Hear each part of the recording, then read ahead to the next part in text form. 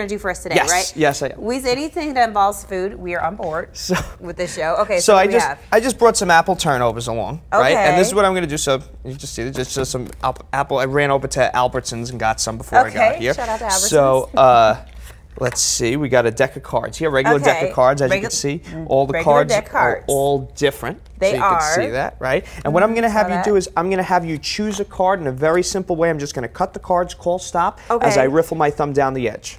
Stop. Right there. You want to Okay. stay there? Yes. Okay, take that card, have a look at it. Okay. Don't let me see it. Make sure you see it and I don't see it. Got this. I'm trying to let the camera get a close up on it.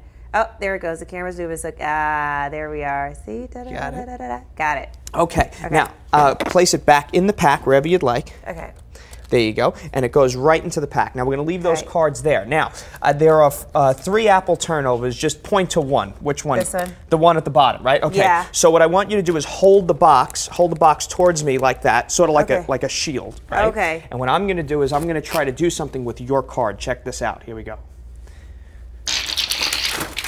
Woo! I'm sorry.